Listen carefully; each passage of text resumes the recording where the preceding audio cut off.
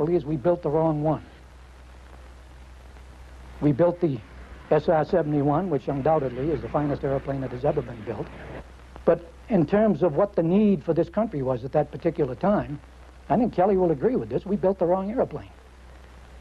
Today, we don't have an interceptor that can really bear the name of interceptor. And here's an airplane that 14 years ago was exceeding all the world speed and altitude records.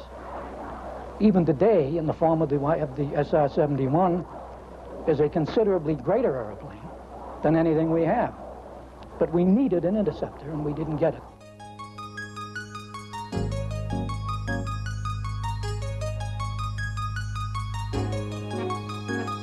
Kelly Johnson had to accept with some bitterness that this masterpiece would not be produced in significant numbers. Only a few would ever be built, and they would be shrouded in the most effective security possible. Limiting manufacture to the SR-71 reconnaissance version ensured the mystery of the Blackbird, whereas the more public role of a fighter version might have allowed the crescendo of worldwide acclaim that the achievement warranted. The SR-71 was announced by President Johnson on July 24, 1964. It came as somewhat of a surprise to Lockheed because the SR-71 was supposed to be the RS-71 or the R-71. The R stood for reconnaissance and the S ambiguously for strike. However, it was decided that the president's name would stick as standing for strategic reconnaissance. The SR-71 took off for its first flight on December 22, 1964. The flight was a complete success. Everything worked, and the pilots and mechanics were happy with the aircraft. The flight testing program proceeded well, most major problems having already been sorted out during the experience of the A-12 and YF-12 projects.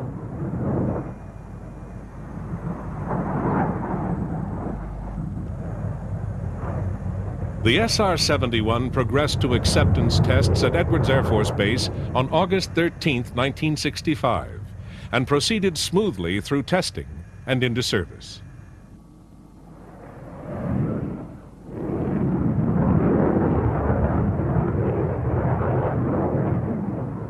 Enough information about the Blackbirds continued to seep out to ensure that they became one of the most famous secrets in the world aircraft enthusiasts came to know enough about the plane and its capabilities to develop an appreciation of the achievement it represented. Then, in September 1974, the Farnborough Air Show received a very special visitor.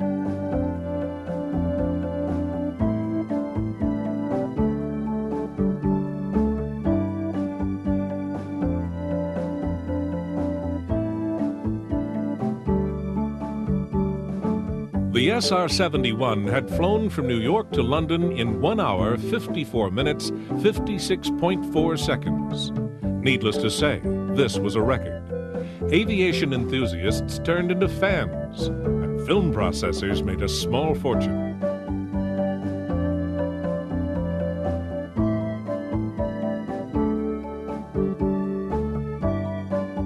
Whenever the SR-71 turned up at an air show, it attracted a large crowd on its own. In fact, even the unfounded rumor that one would show up led to good crowds. The SR-71 spent so little time in public that this was understandable.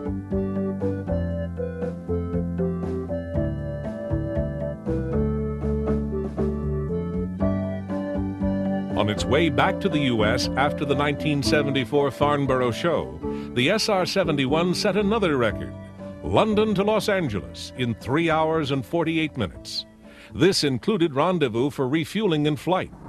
In terms of local times, it arrived about 4 hours before it took off.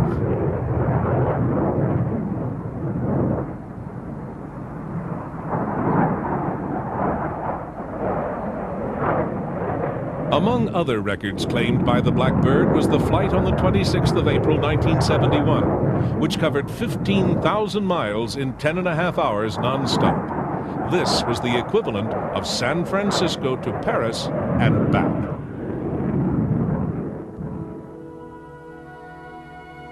The U.S. Air Force flew its SR 71s with the 9th Strategic Reconnaissance Wing, based at Beale Air Force Base in Northern California.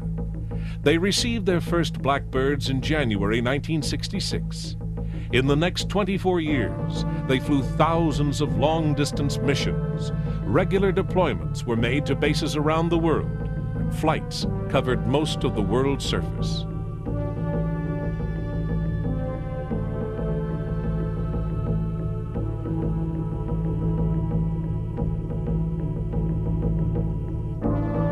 Only top of the line pilots were eligible to fly the SR 71. Requirements were about the same as for the astronaut program. There were no shortages of applicants for the job, however.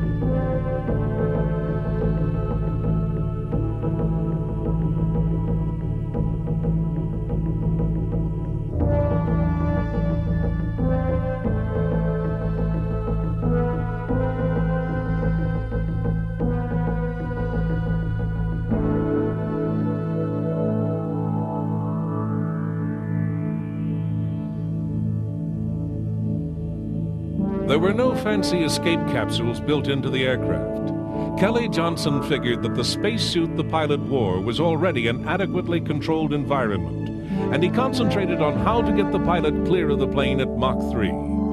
The ejection seat and parachutes inevitably had to be specially developed.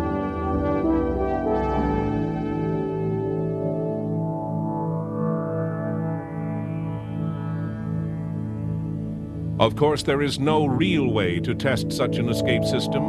Obviously, you cannot simply take a Blackbird up to Mach 3 at 80,000 feet and shoot the crew out. At some point in the process, you have to accept whatever can be proved in adequate tests and deduce the rest.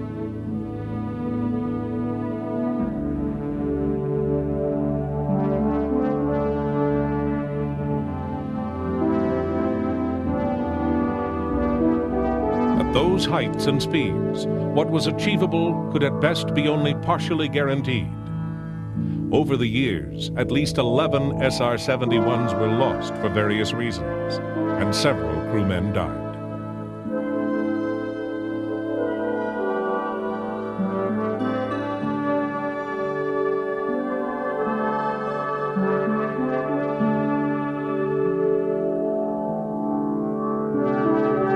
Was troublesome to maintain and became progressively more expensive to keep flying.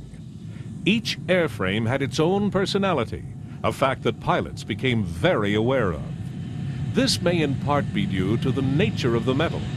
Kelly Johnson asserted that each flight above Mach 3 would effectively retemper the alloy, theoretically giving the planes the strength to go on forever. However, coupled with what was essentially hand construction, this also gave each plane its own characteristics. Pilot instruction called for a special training variant. The SR 71 was a plane unlike any other, and simulators and other training aids were little preparation for the real thing.